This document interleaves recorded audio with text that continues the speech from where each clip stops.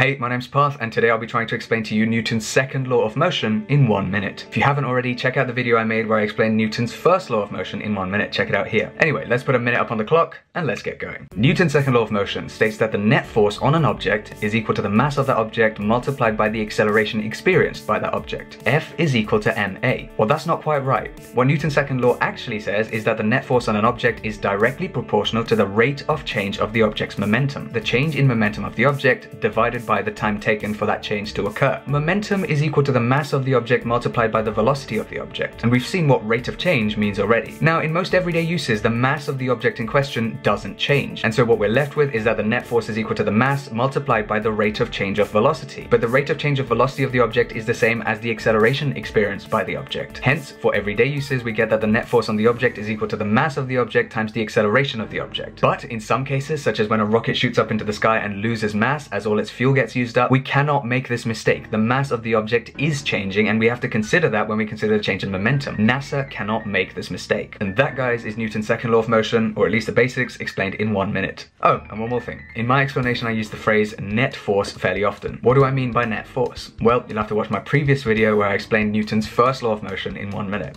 check it out. Anyway, if you enjoyed this video, then please leave a thumbs up and don't forget to comment down below any area of physics you'd like me to try and explain in one minute. Feel free to subscribe and hit that bell button for more physics related content. What I do on this channel is I make fun physics videos that I don't have to try too hard because physics is already fun. My next video, predictably, is going to be Newton's third law of motion explained in a minute. So until then, keep physicsing, and I'll see you next time. Bye bye bye bye bye.